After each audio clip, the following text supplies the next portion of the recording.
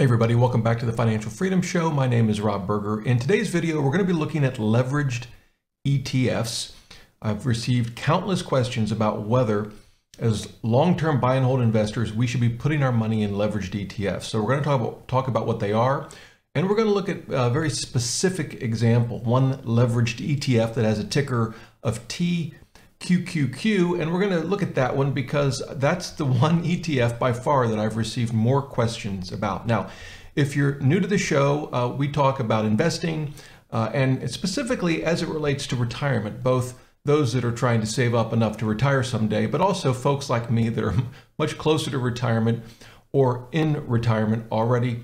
So if you're new to the channel, would love to have you subscribe. Also, I do a live Q&A every Thursday morning at 11 a.m. Eastern Time and do my best to answer your questions. So would love to have you join the live Q&A. All right, enough chit chat. Let's get right to leveraged ETFs. And in concept, they're really quite simple. Uh, the typical leveraged ETF seeks to achieve uh, a return of either two times or in some cases three times an underlying index. So for example, uh, a leveraged ETF that's tracking the S&P 500 might try to achieve say two times uh, the S&P 500's return. So on a given day, if the S&P 500 is up, uh, say 1%, uh, a leveraged ETF uh, would try to achieve a 2x or 2% return for that day. And it uses a number of uh, strategies to do that, including leverage and swaps, derivatives, uh, and it can get for an average investor, myself included, quite frankly, pretty complex uh, behind the scenes. But again, the concept is you know pretty straightforward. Now, they also have what are called inverse ETFs, and as the name suggests, they try to do the opposite. So a 2x inverse uh, ETF on the S&P 500, if the S&P 500 were up 1%, uh, it would attempt to achieve a minus 2% return, which may, may seem a little odd. But if someone thinks the market's going to go down and they're betting the market will go down, then an inverse ETF might be one strategy to play that prediction. Now, it's not the kind of strategy I would ever use, but there are many folks out there that do. Now, uh, just from a terminology perspective, these leveraged ETFs and inverse ETFs together can sometimes be referred to as geared uh, ETFs, geared funds, geared investing. So you may see that term from time to time. Now, again, the concept is simple and uh, when you think about it uh, longer term, it may have some initial appeal. After all, you often hear that uh, the stock market, for the most part, goes up on a year by year basis. Certainly, there are some years, as we well know, when it can go down and go down uh, significantly. Uh, but for most of the time, most years, the market goes up. And so, one thought might be well, look, if we can just hold on, right? If we can just handle the volatility, why not invest? In a leveraged ETF. Sure, we'll have some tough years, there's no doubt. Uh, but if the stock market goes up most years in the long term, uh, won't we be much, much better off? And that really is the argument that I hear from a lot of people when it comes to the uh, leveraged ETF we're going to look at today, TQQQ. So what is that? Well, QQQ, that's the ticker, is uh, an indexed in ETF that simply tracks the NASDAQ 100. What does TQQQ do? Maybe we'll just call it T triple Q. That might be a little easier. Uh, it, it seeks to uh, return 3x uh, the returns of the QQQ. Let me show it to you uh, on the screen. So here it is. This is a fund offered by ProShares. That's the name of the fund company. They offer a, a number of leveraged ETFs. And you can see it's TQQQ, which is the Ultra Pro QQQ. And we can see right here, it says in black and white, ProShares Ultra Pro QQQ seeks daily investment results before fees and expenses that correspond to three times the daily performance of the NASDAQ 100 index. Now, one thing I want to point out, you notice they use the word daily twice. And if we come down to the longer description here, it says the leveraged ProShare ETF seeks a return that is 3x the return of its underlying benchmark for a single day. And they've even cut that in boldface. And you think, what's up with that? They seem to really be highlighting this daily thing. Is that is that significant? Well, it turns out it is very significant. In fact, ProShares fought off a securities class action lawsuit over this very issue, which I'm going to show you. in just a minute. Before we get to it though, I'm going to show you why so many people are attracted to this ETF. If we put this ETF in Portfolio Visualizer, which is a tool that allows us uh, to look back at the performance of a fund, and you can see what we're doing. I'm assuming a $10,000 investment. I've put the dates from 1985 to 2021, uh, but we'll come back to those dates in a minute. And we've got the QQQ, which is the Invesco QQQ Trust. That's the NASDAQ 100. And here we've got the TQQQ. That's the ProShare fund we were just looking at. And we're going to compare the two. Now, the first thing to note is that it's a 10, roughly a 10-year period. It starts in January 2011. And that's because this particular ProShares fund, as you can see right here, launched in March 2010. Leveraged ETFs were first introduced in 2006 this specific fund was introduced in March of 2010, and therefore the data that ProShares has begins in January 2011. So fine, we've got roughly 10 or 11 years worth of data. And if we actually look at the results, you can see that a $10,000 investment in QQQ gave us, after the, the time period, roughly 11 years, about $73,000. But ProShares, look at that number, 800 and $10,000. Now, now you know why I get so many uh, emails from folks asking about this fund. That's a remarkable return over the last 10 years or so. Now, let me just read you a couple of the emails that I've received so you get a rough idea uh, of what folks are asking me. And um, the first one came in uh, from uh, a viewer named Sai, if I'm reading their name correctly. And Sai says, My question is about TQQQ. I read many articles online and research studies on how these leveraged ETFs may ruin one's portfolio and that they are not good for long term uh, uh, investors. But when you look at the charts, you see some, something different. I know also all the math behind it. If you even check and compare TQQ, T triple Q with QQQ at Portfolio Visualizer, as we just did, he, writes, you can clearly see how TQQQ outperformed QQQ. Would you please explain why this is not a good idea to dedicate 5 or 10% of a portfolio to TQQQ? Well, that's what we're going to try to do today. I will say that you can dedicate a small percentage of a portfolio to just about any risky investment and probably not, you know, ruin your overall portfolio. But still, is TQQQ worth the risk. Now, let's go back to Portfolio Visualizer for just a second. I want to just point out a few things. Obviously, we see the final balance, which is why this particular ETF is so attractive to so many people.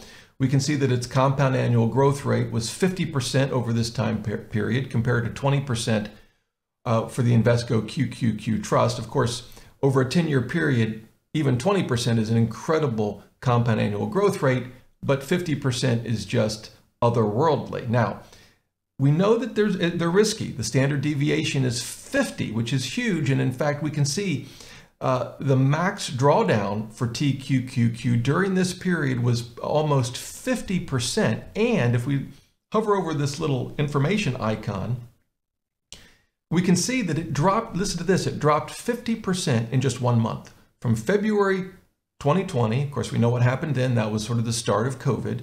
To March 2020, in one month, it dropped 50%. And so the question is, uh, why did it drop so much? How is that possible? Did the QQQ drop a third of that? And this is, if you take nothing else from this video, this is the really where we begin to see the one thing you need to understand about a leveraged ETF and why ProShares kept highlighting in their documentation that we saw just a minute ago daily. Leveraged ETFs are designed to uh, track 2x or 3x typically an underlying index on a daily basis, not an annual basis, a daily basis. And that becomes very, very significant. Let me show you why.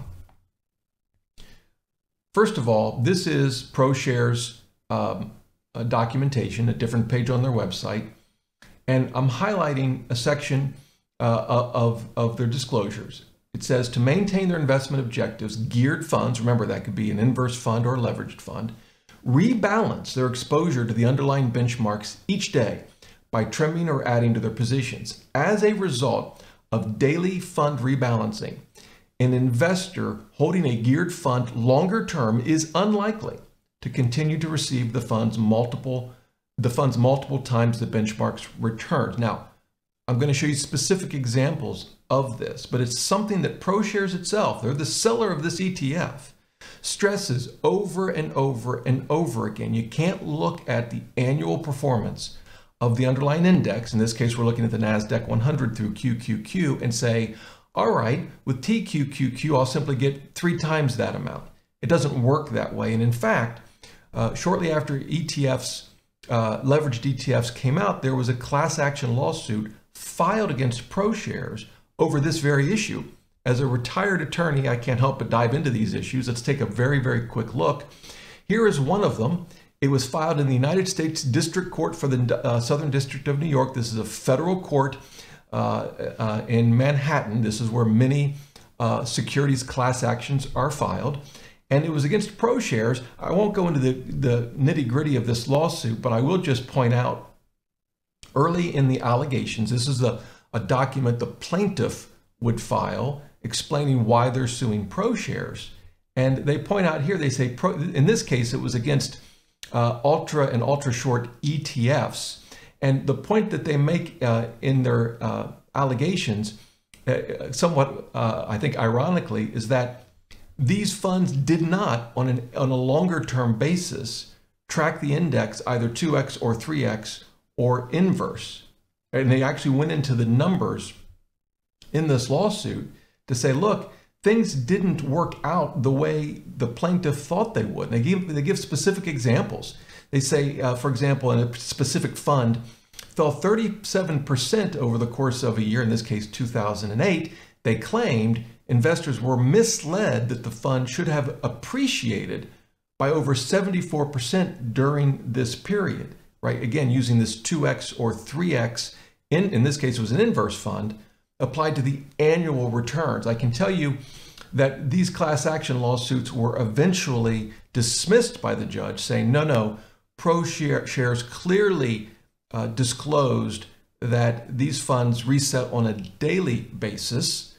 Uh, and so you can't simply take the 2x or 3x and multiply it by the annual results. And if that weren't enough, we have the SEC coming in. This was during the same time period, August 2009, when that lawsuit was filed. I don't think there's any necessarily any relationship, but these uh, this was an SEC article, and I'll leave links to, to this uh, below the video. And in this article, they give very specific real life examples. They don't identify the ETF, but here's, for example, they say, hey, between December 1 and, uh, of 2008 and April 30th, 2009, a particular index gained 2%. However, a leveraged ETF seeking to deliver twice the index's daily return fell by 6%. And they give another example here.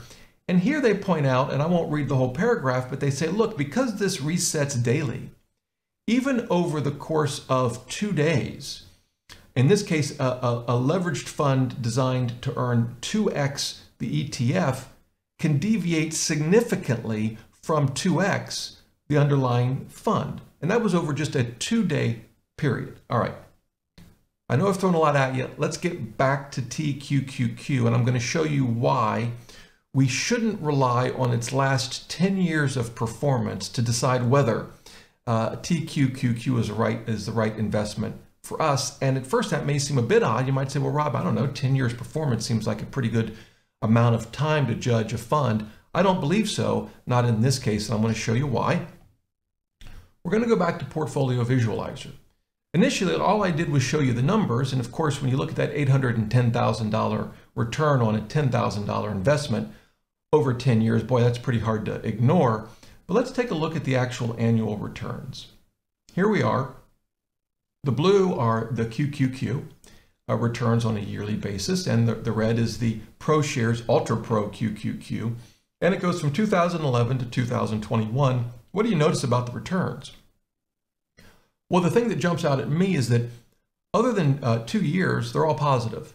And of course, we know this, right? We know that the stock market as a whole has been on an incredible run over the last decade. Uh, tech companies in particular have been on a, a remarkable, uh, I would say, unprecedented run uh, over the last uh, 10 years. And, um, and so it's no uh, surprise that both the QQQ and TQQQ have done extraordinarily well. But there's some things we can draw from this uh, first. The first is what the SEC warns us of, what ProShares itself warns us of, is that uh, in the, the, the 3X fund will not 3X the QQQ on an annual basis. And we can see that sometimes for the better, right? I mean, we'll take 2013, uh, QQQ returned 36%. Well, uh, ProShares didn't return 3x, actually did better, returned 140% in that one year. Uh, so there's just one example. In uh, other cases, it returned on an annual basis a lot less than 3x. Here, QQQ returned, and I don't know quite how well you can see the actual number, but it returned about 7%. ProShares was up, but it wasn't up 21%, it was up a little over 11%. But the year I really want to show you is 2018. We look at 2018 and we think, well, wait a minute, where's the blue bar? What did QQQ do that year? It doesn't seem to have registered, but if we hover over it, we can see, no, it's there. It just was flat. QQQ returned a minus 0.12%. It wasn't enough for the blue bar to even be visible in Portfolio Visualizer. But look at ProShares. It lost almost 20%. That is significantly more than 3x uh, the QQQ, which underscores uh, the significance of this daily reset. You cannot apply, and I'll repeat, you cannot apply the annual returns of an underlying index to, an, to a leveraged ETF. Uh, they, there's virtually no relationship whatsoever between the two. In fact, as the SEC pointed out, you can have a positive return of the underlying index and a negative return with, an, with a leveraged ETF. And we actually see that in 2011. QQQ returned roughly 3.5%, while ProShares lost 8%.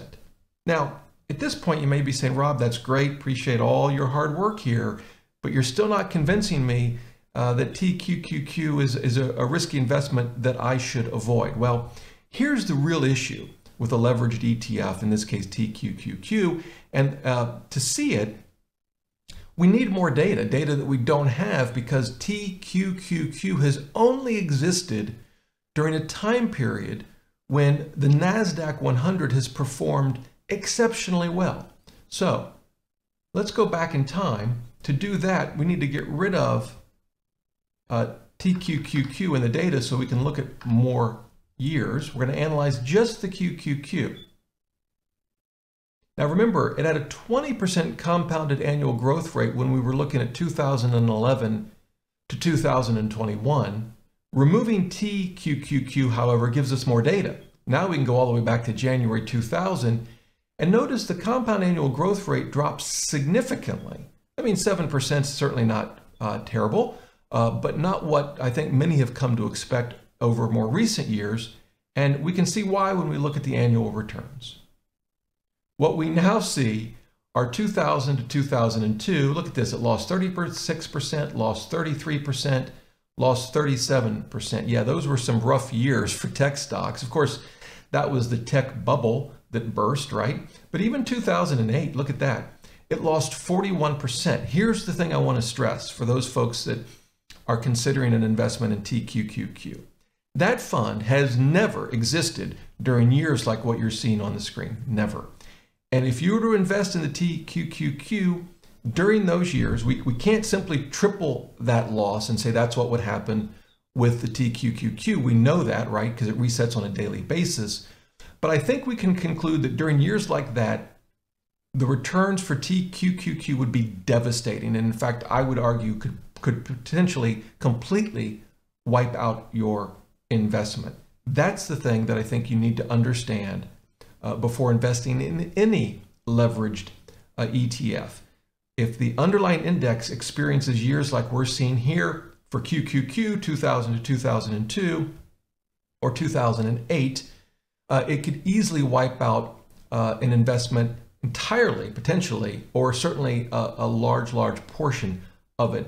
And that's what investors uh, need to be prepared for we can't get comfortable simply because the last 10 years, as long as that time period is, has done very well for, in this case, ProShares uh, TQQQ, because during that time period, the underlying index has performed exceptionally well. That won't always be the case. So at the end of the day, could you put some small percentage in a leveraged ETF? You could. Uh, you just need to understand that they're not designed to be used that way. They're not designed to be held uh, by long-term buy and hold investors. They're generally used for active daily traders, maybe for some hedging strategies, uh, uh, potentially, but they're not really designed to be uh, bought and held for long periods of time. The SEC has warned us about that. ProShares itself has warned us about that. So don't, I guess the point I'm trying to make is don't fall in love with the last decade of performance. We need to see how uh, an investment like TQQQ would perform when the underlying index gets walloped, and it will. We just don't know when. I guess it's buyer beware. Well, I hope you found uh, the video helpful. If at least informative, I'll leave links to uh, the resources I've mentioned below the video. If you have any questions, please leave them in the comments below. I'll do my best to help you out any way I can. Until next time, remember, the best thing money can buy is financial freedom.